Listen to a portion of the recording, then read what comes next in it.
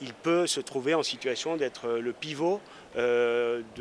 d'une recomposition du Parlement européen. Notre objectif, il est là, il est ambitieux, il est de créer les conditions euh,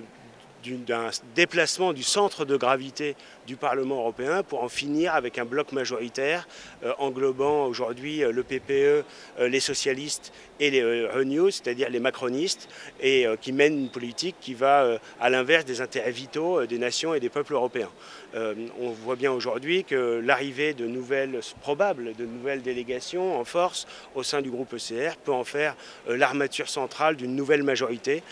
par conséquent, c'est notre ambition pour l'Europe, pour les nations européennes, qui euh, nous conduit aujourd'hui euh, à, nous investir pleinement euh,